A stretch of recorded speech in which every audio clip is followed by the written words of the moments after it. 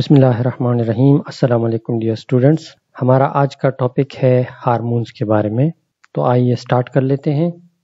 सबसे पहले ये जान लेते हैं कि हारमोन है क्या चीज़। हार्मोन एक केमिकल है जो मैसेजेस को या सिग्नल को एक सेल से उठाकर दूसरे सेल तक ले जाते हैं। और इसकी एक बहुत ही मामूली मकदार की ज़रूरत होती है। मसलन आप इधर देख सकते हैं कि एक सेल से हार्मोन ने मैसेज उठाया और दूसरे सेल के रिसेप्टर पर अटैच होकर वो मैसेज वहाँ पे डिलीवर कर दिया। तो ये इसका एक मैकेनिज्म ऑफ़ एक्शन है हार्मोन का। नेचर इसकी ये है कि ये या तो प्रोटीन के बने होते हैं या गैर प्रोटीन के बने होते हैं, यानी अमाइनो एसिड और स्टीराइड्स वगैरह से भी बन सकते हैं। इसकी रेगुलेशन दो तरीकों से हो सकती है। या तो थ्रू नर्व इसको कंट्रोल किया जाता है, या फिर नेगेटिव फीडबैक मैकेनिज्म के ज़रिए से ये कंट्रोल होता है। इसकी ट्रांसपोर्टेशन ब्लड के ज़रिए से होती है। और इसका जो इफ़ेक्ट होता है, वो लॉन्ग टर्म इफ़ेक्ट होता है मोस्टली मसलन ग्रोथ बिहेवियर में तब्दीली वगैरह वगैरह ये इंजाइम की तरह नहीं है कि ये किसी रिएक्शन को कैटलाइज करेगा। किसी रिएक्शन की स्पीड को बढ़ाएगा। बल्कि ये सिर्फ़ और सिर्फ़ एक जगह से मैसेज उठा के दूसरे सेल तक वो मैसेज डिलीवर करने का काम करता है। ये जो मैसेज ये उठाता है, उस मैसेज में ये पैगाम होता है कि या तो वो दूसरे आर्गन को स्टिमुलेट करता है या इनहिबिट करता है। तमाम मल्टीसेलुलर ऑर्गेनिज्म जो हैं, वो हार्मोन प्रोड्यूस करते हैं। और प्लांट के हार्मोन को स्पेसिफिकली फाइटो हार्मोन्स कहा जाता है। कुछ हारमोन्स लोकली डिस्ट्रीब्यूट होते हैं और लोकली मैसेजेस पहुंचाते हैं और इनकी जो डिस्ट्रीब्यूशन होती है, वो लिमिटेड होती है और ये इंटस्टिशियल फ्लूड में ही रहते हैं और ये ब्लड में दाखिल नहीं होते और अगर दाखिल भी होते हैं तो वेरी लोकलाइज्ड ब्लड विसल्स में दाखिल हो जाते हैं। इनके फिर दो टाइप्स हैं पैराक्राइन और ऑटोक्राइन हार्मोन्स अब आइए मैं आप लोगों को इन तीनों में फ़र्क बता देता हूँ, यानी ऑटोक्राइन पैराक्राइन और एंडोक्राइन में। यहाँ पे आप देख सकते हैं ये एक ब्लड वेसल है जिसमें ब्लड फ्लो करता है और ये जो जितनी भी आप देख रहे हैं सर्कुलर शेप्स ये सारे सेल्स हैं और इनके ऊपर जो एरो के निशान आप देख रहे हैं येलो कलर में दे आर रिसेप्टर मालिक्यूल्स और ये जो ब्लैक कलर में आपको नज़र आ रहा है दीज आर हार्मोन मालिक्यूल्स जो कि इस सेल में प्रोड्यूस हो रहे हैं। अब मैं आपको दिखाता हूँ पहली किस्म, यानी ऑटोक्राइन जब एक हार्मोन जो सेल प्रोड्यूस करता है, वो उसी सेल के रिसेप्टर के साथ बाइंड हो जाए तो that is called autocrine hormone दूसरी किस्म में जो सेल हार्मोन प्रोड्यूस करता है, वो एक नेबर सेल के रिसेप्टर के साथ बाइंड होता है, और इसमें ब्लड इन्वॉल्व नहीं होता, यानी वो हार्मोन थ्रू ब्लड उस सेल तक नहीं पहुँचता डायरेक्ट उस सेल तक चला जाता है थ्रू इंटस्टिशियल फ्लूड तो ऐसे हार्मोन को पैराक्राइन हार्मोन या पैराक्राइन सिग्नलिंग कहा जाता है। एक थर्ड किस्म है इंडोक्राइन उसमें जो सेल हार्मोन प्रोड्यूस करता है, वो थ्रू ब्लड वेसल्स जाता है एक दूर जगह पे मौजूद एक दूसरे सेल को और उसके रिसेप्टर के साथ बाइंड होकर अपना मैसेज डिलीवर करता है। तो इस किस्म के सिग्नलिंग को इंडोक्राइन सिग्नलिंग कहा जाता है और ये हार्मोन इंडोक्राइन हार्मोन्स कहलाते हैं। एक और चीज़ है जिसे एक्सोक्राइन ग्लैंड कहा जाता है। उसमें क्या होता है कि कोई सेल एक केमिकल प्रोड्यूस करता है और वो केमिकल फिर ब्लड में दाखिल हुए बगैर एक डक्ट के ज़रिए से बॉडी से बाहर चला जाता है। तो ऐसे ग्लैंड्स को एक्सोक्राइन ग्लैंड्स कहा जाता है। अब आटोक्राइन में ज़्यादातर साइटोकाइंस वगैरह शामिल होते हैं।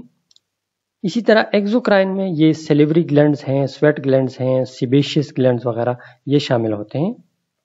इंडोक्राइन हार्मोन में ग्रोथ हार्मोन, इंसुलिन, ऑक्सीटोसिन और ये बाकी हार्मोन जो आप लोगों ने पढ़े हैं और इसी तरह पैराक्राइन में मसलन शामिल होते हैं न्यूरो हैं, या इसमें टेस्टोस्टेरॉन वगैरह भी शामिल हैं। और बाज़ हारमोन ऐसे होते हैं जो इन तीनों में शामिल होते हैं, मसलन ऑटोक्राइन पैराक्राइन और इंडोक्राइन इन तीनों किस्म के सिग्नलिंग को वो परफॉर्म कर सकते हैं। रिसेप्टर्स रिसेप्टर क्या चीज़ होती है? ये एक प्रोटीन मालिक्यूल होता है, जो कि किसी सेल सरफेस पे मौजूद होता है या उसके अंदर होता है और ये किसी स्पेसिफिक मालिक्यूल के साथ बाइंड होता है। और जिस मालिक्यूल के साथ ये बाइंड होता है, उसको लीगेंड कहा जाता है। और ये जो लीगेंड के मालिक्यूल हैं, ये मे बी इनऑर्गेनिक मिनरल्स हो सकते हैं ऑर्गेनिज्म क्रिएटेड प्रोटीन्स हो सकते हैं हार्मोन्स और न्यूरो वगैरह इसमें शामिल हैं।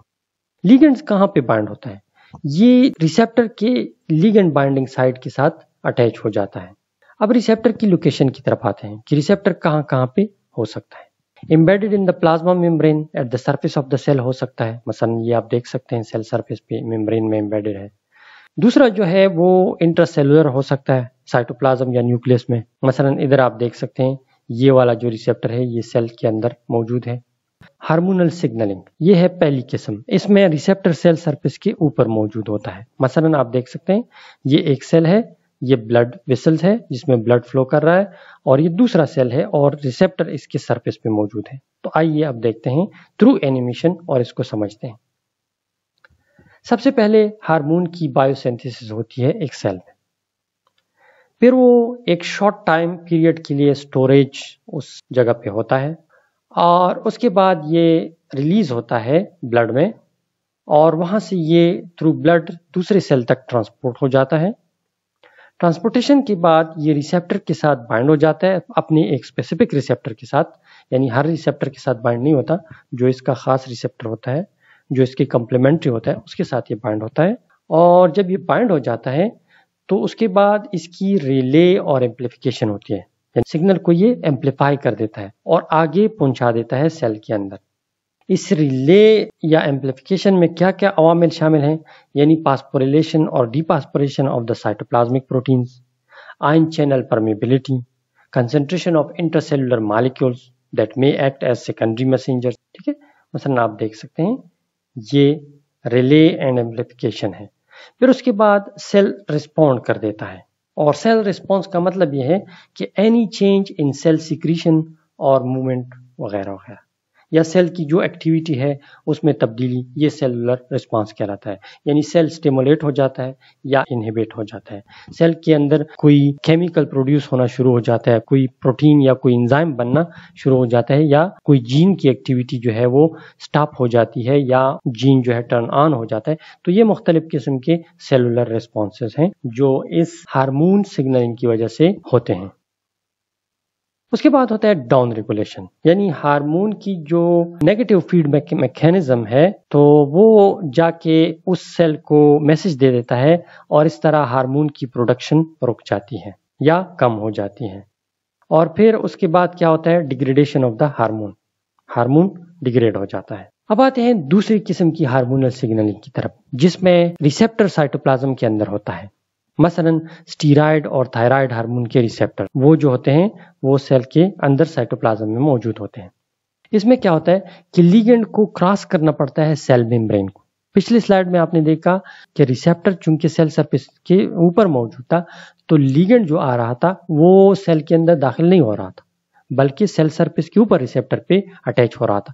यहाँ पे क्या होता है कि ये लिगेंड पहले क्रॉस करेगा सेल मेम्ब्रेन को। वजह क्या है? क्योंकि इसका रिसेप्टर साइटोप्लाज्म के अंदर मौजूद है। और ये लिगेंड कैसे क्रॉस करता है सेल मेम्ब्रेन को? क्योंकि स्टीराइड हार्मोन हमें पता है कि दे आर लिपिड सोलेबल और मेम्ब्रेन लिपिड का बना हुआ है पास्पोलिपिड का। तो इसीलिए वो उसको क्रॉस कर सकता है। जब ये क्रॉस करता है और साइटोप्लाज्म में दाखिल होता है ये लिगेंड तो वहाँ पे इसका रिसेप्टर होता है, उसके साथ ये कंबाइन हो जाता है और एक कम्प्लेक्स बनाता है। ये कम्प्लेक्स आगे जाके न्यूक्लियस में चला जाता है। और न्यूक्लियस में फिर डीएनए के एक खास स्पेसिफिक सीक्वेंस के साथ ये बाइंड हो जाता है और इस तरह ये कुछ खास जीन्स को या तो एम्पलीफाई कर देता है या सप्रेस कर देता है। यानी turn on and turn off off the gene जब जीन्स टर्न ऑन या टर्न ऑफ़ हो जाते हैं तो उसकी जो मखसूस प्रोडक्ट होती है, वो बनना शुरू हो जाती है या बनना बंद हो जाती है। Receptor for some steroid hormones और एसोसिएटेड विद प्लाज्मा मेम्ब्रेन यानी स्टीराइड हार्मोन ऐसे नहीं है कि उसके हर स्टीराइड हार्मोन का रिसेप्टर साइटोप्लाज्म के अंदर होगा, बल्कि बाद स्टीराइड ऐसे हैं जिसका रिसेप्टर सेल सरफेस के ऊपर भी हो सकता है। स्ट्रेंथ ऑफ़ द सिग्नल जिस तरह आप लोग मोबाइल यूज़ करते हैं या लैपटॉप यूज़ करते हैं तो उसमें वाईफाई सिग्नल होता है या मोबाइल का जो सिग्नल होता है, वो आपने देखा होगा कि हर जगह पे स्ट्रांग नहीं होता। आप जब मोबाइल यूज़ करते हैं तो अगर आप किसी बेसमेंट पे हैं तो वहाँ पे इसका सिग्नल कमज़ोर होता है।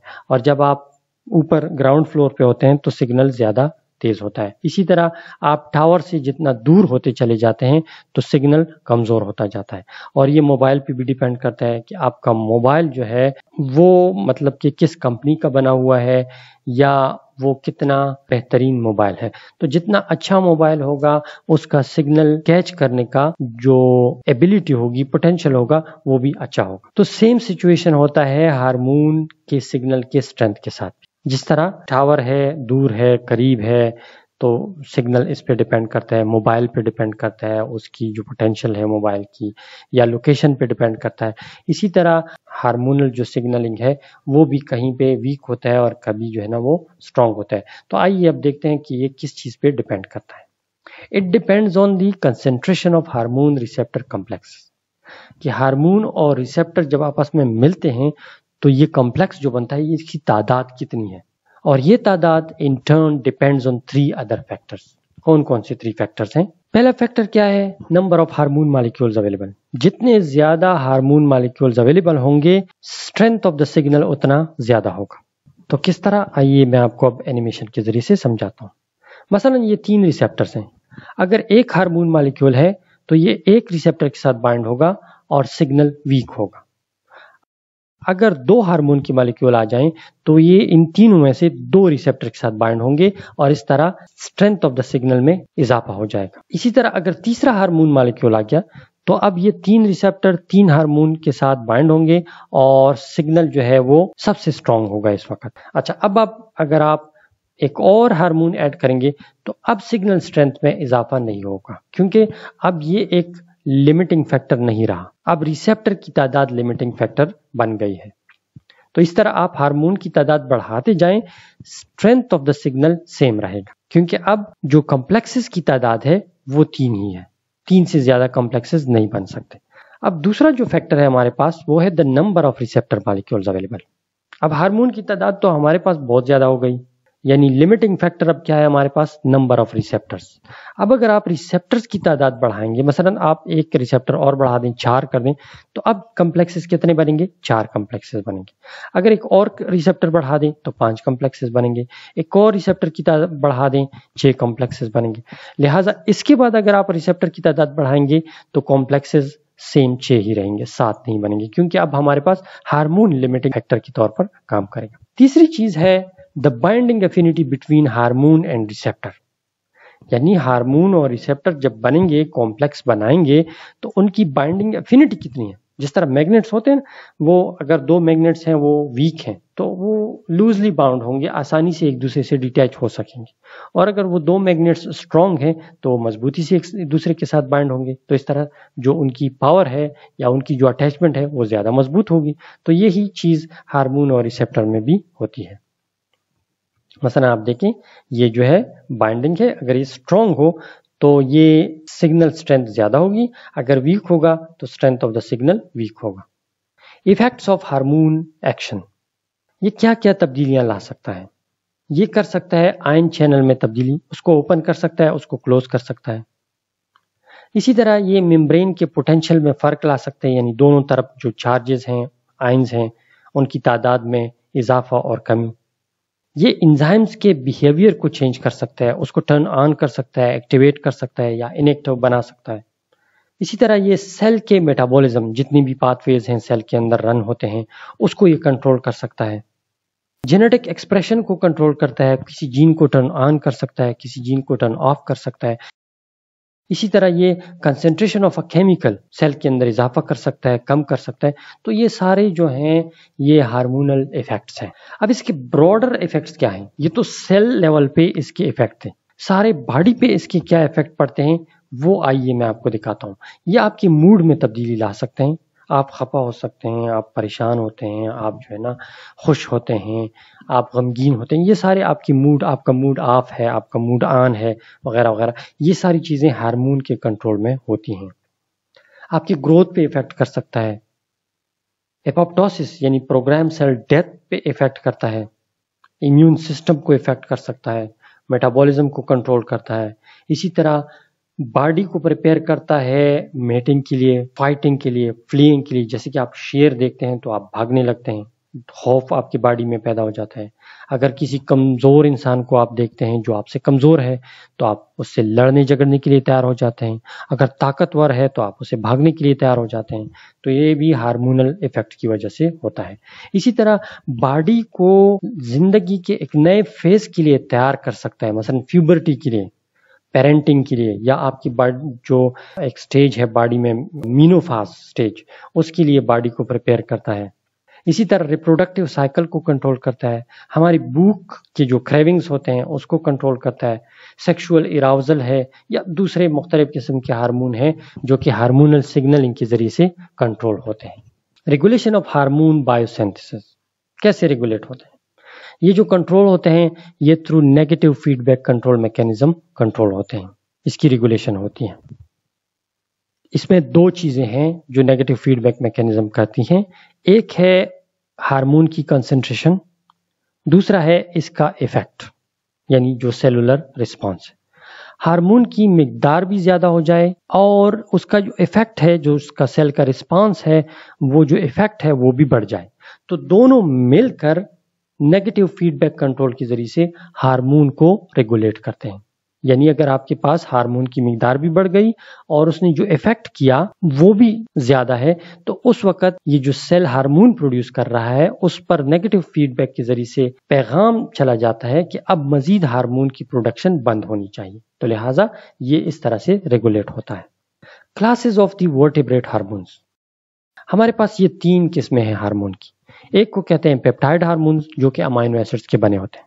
दूसरे हैं लिपिड या पास्पोलिपिड डिराइव्ड हार्मोन्स जो कि लिपिड से डिराइव्ड होते हैं। और तीसरा है मोनोअमीन हार्मोन जो कि फिनाइलनिन टायरोसिन और टिप्टोपिन वगैरह से डिराइव्ड हुए होते हैं।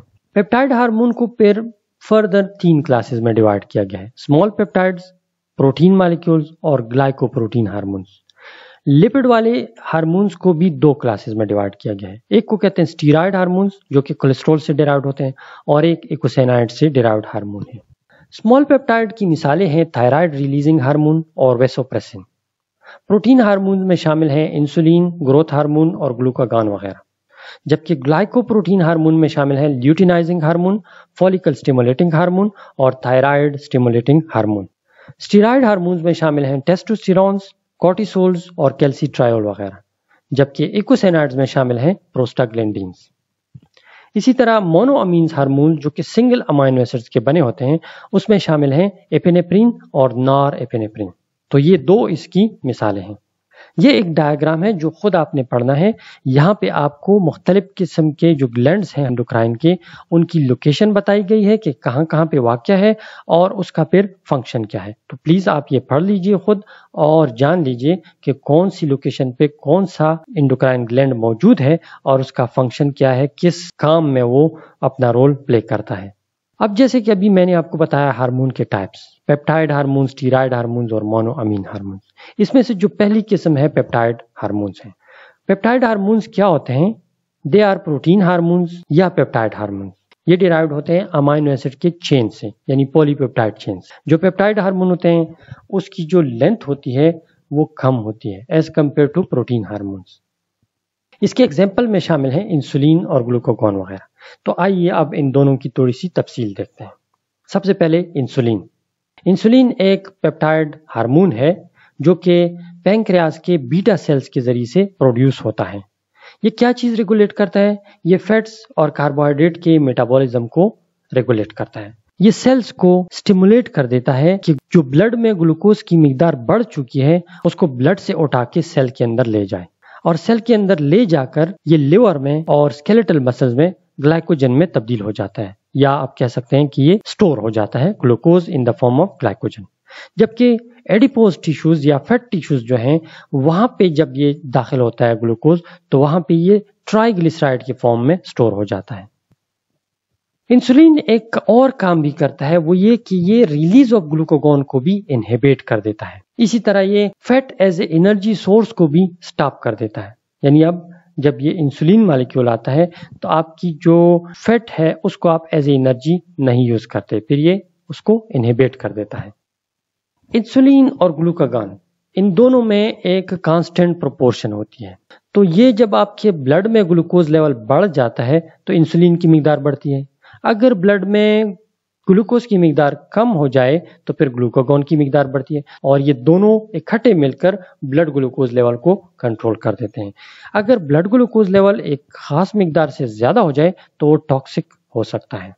जब ब्लड ग्लूकोज लेवल बहुत कम हो जाता है तो उस वक्त क्या होता है कि बॉडी जो स्टोर्ड शुगर है, यानी ग्लाइकोजन के फॉर्म में, उसको तोड़ तोड़ के ग्लूकोज के फॉर्म में तब्दील कर देता है ताकि वो एज ए फ्यूल यूज़ हो जाए। ये कौन से साइकिल के ज़रिए से ग्लाइकोजन की डिग्रेडेशन होती है, उसका नाम है ग्लाइकोजेनोलिसिस ग्लाइकोजेनालिसिस में होता क्या है कि ग्लाइकोजन के मालिक्यूल से ग्लूकोज के मालिक्यूल लिवर में और मसल में टूट टूट के बाहर आते हैं और इस तरह वो as a energy source use होते हैं। और अगर इंसुलिन की कंट्रोल फेल हो जाए तो फिर एक डिज़ीज़ होता है जिसे कहते हैं डायबिटीज़ मिलाइटस और फिर इस डिज़ीज़ को कंट्रोल करने के लिए आप इंसुलिन यूज़ कर सकते हैं। अब आइए इंसुलिन की कंपोजिशन देखते हैं या उसकी स्ट्रक्चर के बारे में पढ़ते हैं। इसमें टोटल 51 अमाइनो एसिड्स होते हैं और इसका जो वेट है मालिकुलर वो 5808 डाल्टन है। और ये दो चेन्स का बना होता है, एक ए चेन और एक बी चेन दोनों चेन्स आपस में डाइसल्फाइड ब्रिज के ज़रिए से जुड़े होते हैं। अब इसकी सेंथेसिस देखते हैं।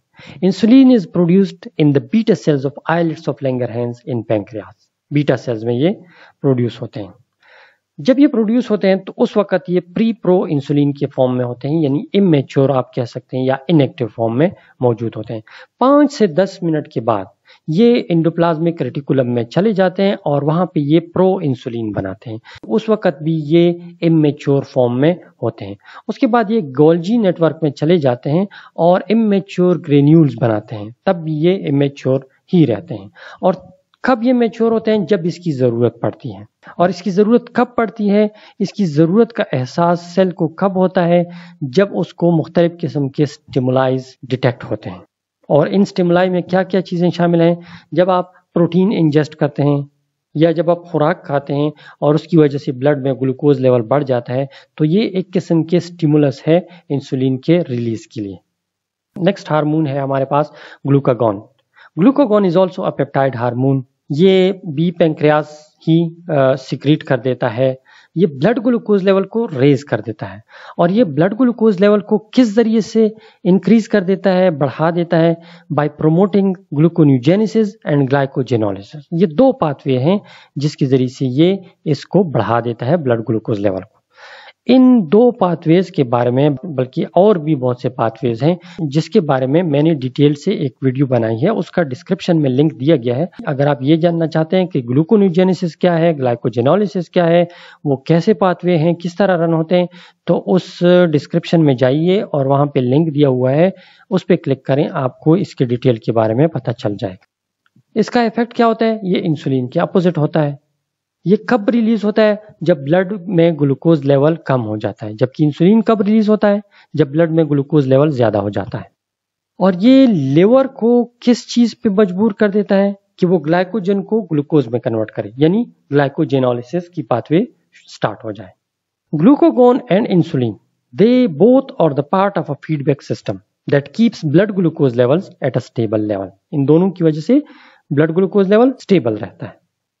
ग्लूकोगॉन की प्रोडक्शन जिस तरह आपने पिछले स्लाइडों में देखा कि इंसुलिन को बीटा सेल्स तैयार करते हैं आइलेट्स ऑफ़ लेंगर हैंस की, जबकि इसकी प्रोडक्शन अल्फ़ा सेल्स में होती है। ह्यूमन के जो आइलेट स्ट्रक्चर है, वो लेस सिग्रीगेटेड है, यानी डिस्ट्रीब्यूटेड है। ये throughout the islets distributed है। अब आते हैं ग्लूकोगॉन किस तरह रेगुलेट होता है। सबसे पहले इसकी स्टिमुलेशन कौन करता है? कौन सी अवामिल हैं जिसके ज़रिए से ये स्टिमुलेट होता है? सबसे पहला है हाइपोग्लाइसीमिया दूसरा है एक और हार्मोन जिसका नाम है एपेनेप्रिन उसकी मौजूदगी इसको स्टिमुलेट करती है। इसी तरह कुछ अमाइनो एसिड्स हैं जो अगर मौजूद हों बॉडी में ब्लड में तो वो भी इसको स्टिमुलेट करती हैं, यानी आर्जिनिन और एलानिन वगैरह। इसी तरह न्यूरो एसिटाइल कोलिन जो कि सिग्नल ले आता है नर्व सेल से, वो भी इसको स्टिमुलेट कर देता है। इसी तरह खोलिसिस्टोकाइनिन है, जो कि एक पेप्टाइड हार्मोन है। जो फैट और प्रोटीन के डाइजेशन को स्टिमुलेट करता है, उसके ज़रिए से भी ग्लूकोगोन स्टिमुलेट होता है। अब आते हैं इनहिबिशन की तरफ़। कौन से अवामिल हैं, कौन से फैक्टर्स हैं जिसके ज़रिए से ये इनहिबिट होता है? एक हार्मोन है जिसका नाम है सोमेटोस्टेटिन वो अगर रिलीज़ हो जाए तो वो हार्मोन ग्लूकोगॉन को इनहिबिट कर देता है। दूसरा है इंसुलिन वो भी ग्लूकोगॉन की रिलीज़ को इनहिबिट कर देता है। इसी तरह इंक्रीज्ड फ्री फैटी एसिड और keto acid in the blood वो भी इसको इनहिबिट कर देते हैं। यूरिया प्रोडक्शन अगर ज़्यादा हो रहा है, यानी ज़्यादा प्रोटीन यूटिलाइज हो रहा है तो उस वक्त भी ये इनहिबिशन होती है। अब इसकी स्ट्रक्चर और कंपोजिशन ये 21 अमाइनो एसिड का पॉलीपेप्टाइड चेन है और ये इसकी ह्यूमन इंसुलिन की सीक्वेंस है। इसका मोलिकुलर वेट तीन हज़ार चार सौ पचासी डाल्टन है।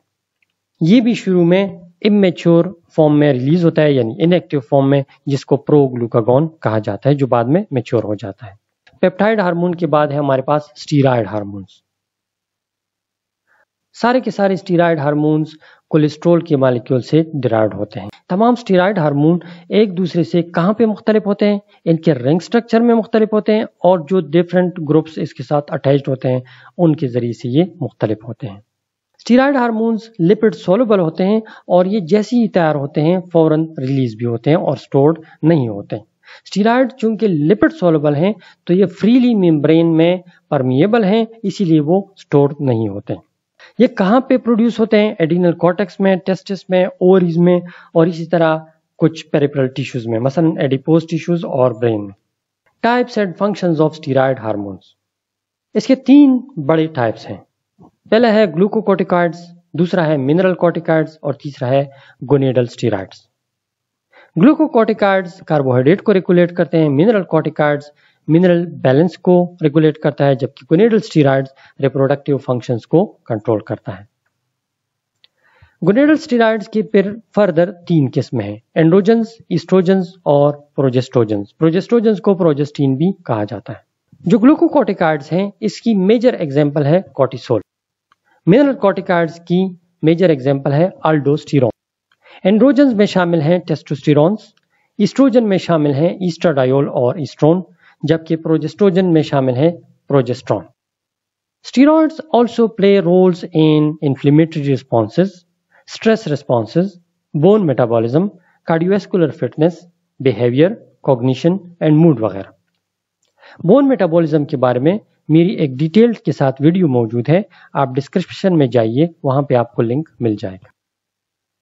स्टीराइड हार्मोन से क्लोजली रिलेटेड एक और ग्रुप भी है, जो कि वाइटामिन डी से डिराइव होते हैं। और उनके रिसेप्टर्स भी स्टीराइड हार्मोन जैसे ही होते हैं, उनके होमोलगस होते हैं। लेकिन फ़र्क क्या है कि वो टेक्निकली स्टीरोल्स होते हैं, ना कि स्टीराइड्स। स्टीराइड हार्मोन्स की transportation.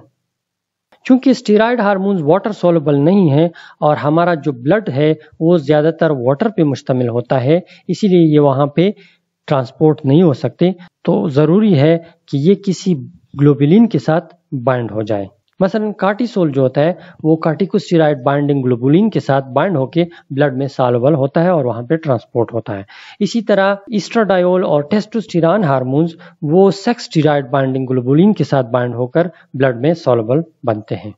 How does the synthesis of steroid differ from that of peptide hormones peptide hormones are encoded by specific genes यानी वही सेंट्रल डोगमा जो आपने पढ़ा है, उसमें क्या होता है?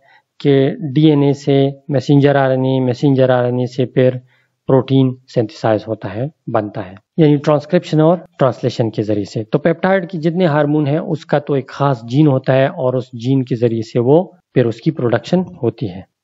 जबकि स्टीराइड हार्मोन मुख्तलिफ़ पाथवेज के थ्रू सिंथेसाइज होते हैं। जिस तरह ग्लाइकालिसिस की पाथवे है या क्रेप साइकिल वगैरह है या बीटा ऑक्सीडेशन है फैटी एसिड्स की तो इस तरह इनकी भी एक फाथवे होती है, बल्कि मुख्तलिफ़ किस्म के पाथवेज हैं, जिसके ज़रिए से मुख्तलिफ़ किस्म के स्टीराइड हारमोन्स सिंथेसाइज होते हैं। जिसका ऑरिजन है, वो कोलेस्ट्रोल मालिक्यूल है। उसकी मॉडिफिकेशन होती है मुख्तलि पाथवेज के ज़रिए से। तो इस तरह ये मुख्तलिफ़ स्टीराइड हारमोन्स बनते हैं।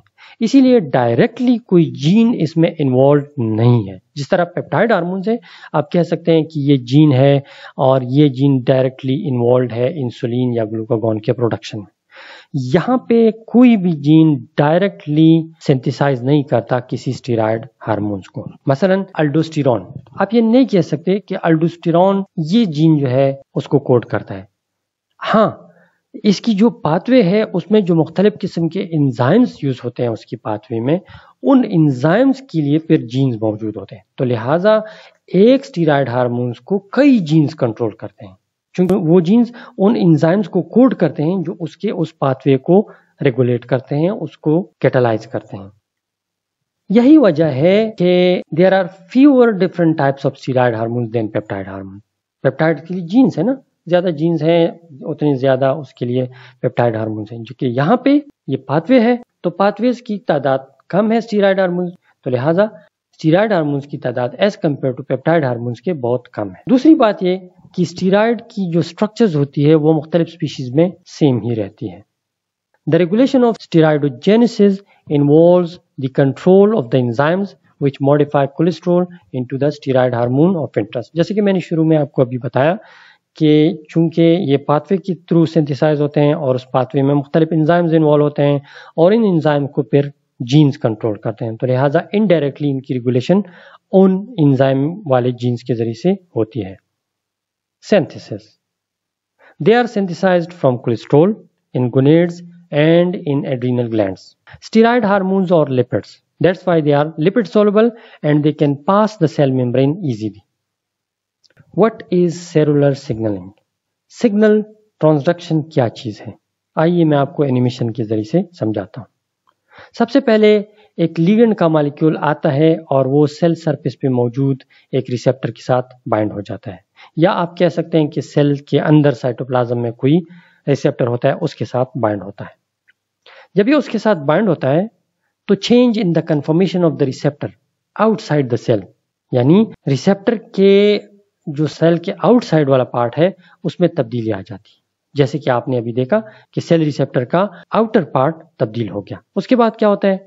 Change in the conformation of receptor inside the cell अभी आप देखें, किस तरह तब्दीली आती है? ये देखें ये इसका इनसाइड द सेल वाला पार्ट जो है रिसेप्टर का, वो भी चेंज हो गया।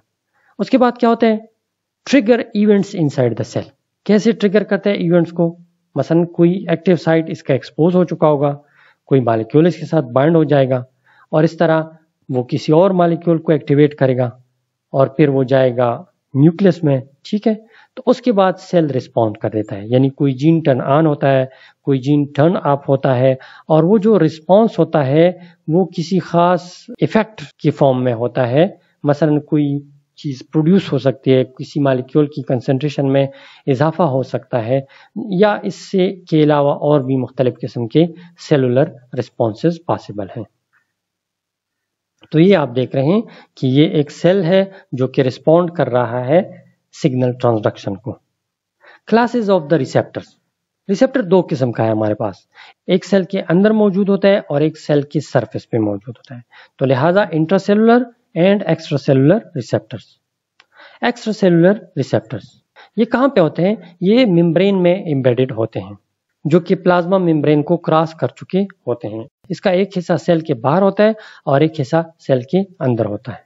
मसलन जी प्रोटीन कपल रिसेप्टर इसकी एक एग्ज़ाम्पल है।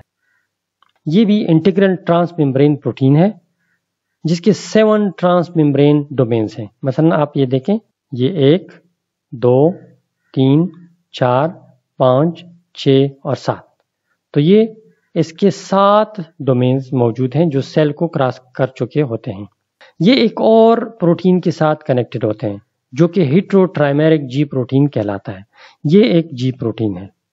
देखिए, जो तीन यूनिट्स का बना है, वो तीन यूनिट्स कौन कौन से हैं? अल्फ़ा, बीटा और गैमा। तो जी प्रोटीन कपल रिसेप्टर को कपल रिसेप्टर इसलिए कहा जाता है क्योंकि इसमें एक प्रोटीन मालिक्यूल होता है, जो कि आप देख सकते हैं, सात डोमेन्स वाला है। और दूसरा है जी प्रोटीन।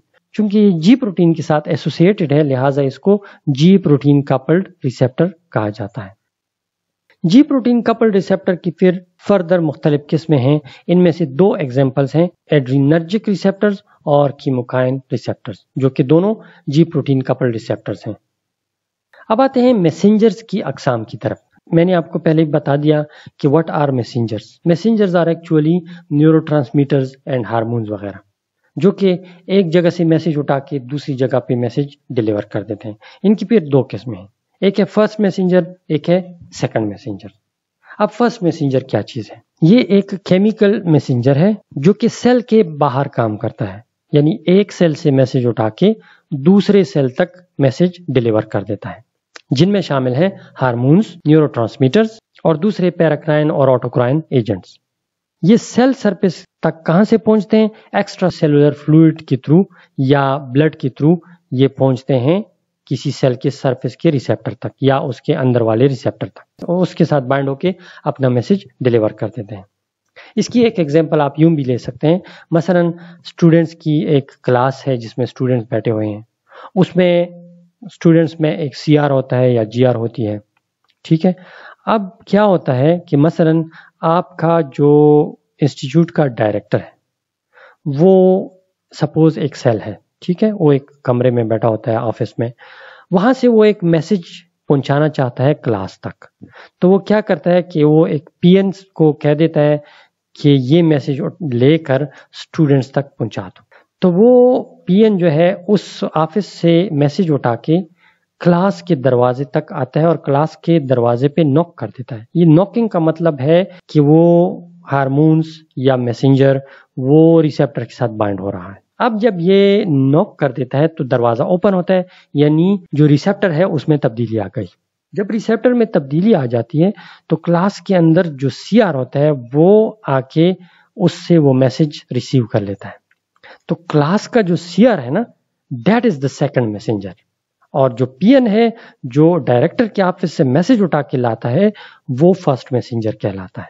अब आपको, मुझे उम्मीद है कि इस एक्सप्लेनेशन के बाद आपको फ़र्स्ट मैसेंजर की समझ आ चुकी होगी। अब सेकंड मैसेंजर जो है, वो जैसे कि मैंने अभी आपको बताया कि it acts within the cell to trigger a response ये विद इन द सेल जैसे मैंने आपको कहा कि क्लास के अंदर जो सीआर या जीआर है, उसने पीएन से मैसेज उठाया और क्लास को सुनाया। क्लास को ये मैसेज जब वो सुनाता है, वो मैसेज मुख्तलिफ़ किस्म का हो सकता है। खुशी की खबर हो सकती है या कोई ऐसा खबर हो सकता है जिसकी वजह से स्टूडेंट्स अफसरदा हो सकते हैं।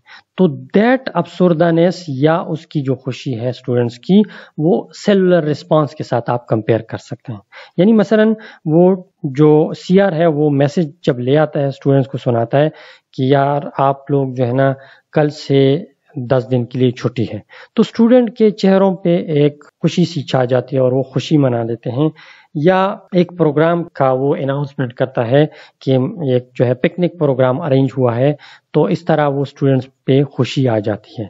या इस तरह हो सकता है कि वो रिज़ल्ट लेकर आता है, जिसकी वजह से कुछ स्टूडेंट्स तो खपा हो जाते हैं और कुछ खुश हो जाते हैं वो रिज़ल्ट सुनाने के बाद। तो ये जो सी आर जी आर है it is like a second messenger यानी सेल के अंदर जो मालिक्यूल होता है, जो फ़र्स्ट मैसेंजर से मैसेज उठा के सेल के अंदर पहुँचा देता है, वो कहलाता है सेकंड मैसेंजर सेकंड मैसेंजर का मेन काम जो होता है ना केमिकल रिले का काम होता है, कि वो मैसेज वहाँ से उठा के एक रिले का काम करता है, आगे पहुँचा देता है, यानी प्लाज्मा मेम्ब्रेन से साइटोप्लाज्म या न्यूक्लियस तक मैसेज उठा के ले जाता है. यानी ये एक्चुअली सिग्नल ट्रांसडक्शन को सेल के अंदर परफॉर्म करता है. और इसकी वजह से एक्टिविटी ऑफ़ द सेल में तब्दीली आ जाती है। जैसे कि मैंने आपको क्लास का एग्ज़ाम्पल दिखाया। इसका दूसरा काम है application of the strength of the signal यानी उसकी स्ट्रेंथ में इजाफा करना। Discovery of the second messenger कि किसने डिस्कवर किया, कैसे डिस्कवर किया।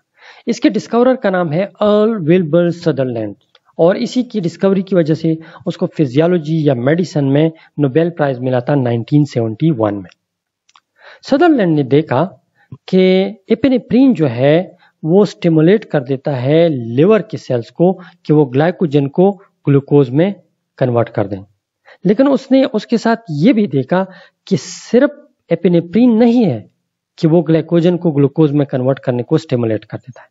बल्कि एपिनेप्रीन के अलावा भी एक और मालिक्यूल है जो कि इस चीज़ को ट्रिगर कर देता है। तो उसको उन्होंने सेकंड मैसेंजर का नाम दिया। उसने क्या देखा था? एक साइक्लिक एएमपी को देखा साइटोप्लाज्म के अंदर, जो कि एक्चुअली इन्वॉल्व था एज ए सेकंड मैसेंजर काम करने के तौर पर। यानी सिर्फ़ फ़र्स्ट मैसेंजर नहीं होता, बल्कि सेकंड मैसेंजर भी होता है, जो कि रिस्पॉन्स को ट्रिगर कर देता है। टाइप्स ऑफ़ सेकंड मैसेंजर्स इसके तीन टाइप्स हैं हाइड्रोपोबिक मालिक्यूल्स हाइड्रोफिलिक मालिक्यूल्स और गैसेस हाइड्रोपोबिक क्या है? वो वाटर इंसोलेबल होते हैं। हाइड्रोपोबिक वाटर सोलेबल होते हैं और गैसेस तो गैसेस ही होते हैं। इनकी एग्जांपल्स में शामिल हैं। हाइड्रोपोबिक में डाई इसाइल ग्लिसरोल और पासपेटाडाइल आइनोसिटोल्स हैं। हाइड्रोफिलिक में शामिल हैं C M P C G M P I P three और कैल्शियम आइंस और गैसेज में शामिल हैं नाइट्रिक ऑक्साइड कार्बन मोनोऑक्साइड और हाइड्रोजन सल्फाइड वगैरह। हाइड्रोपोबिक मेम्ब्रेन एसोसिएटेड होते हैं। हाइड्रोफिलिक जो होते हैं, वो located within the cytosol और गैसेस जो होते हैं they can diffuse both through cytosol and across the cellular membranes तो यहाँ पे हमारा आज का लेक्चर खत्म हो जाता है। थैंक यू अल्लाह हाफिज़।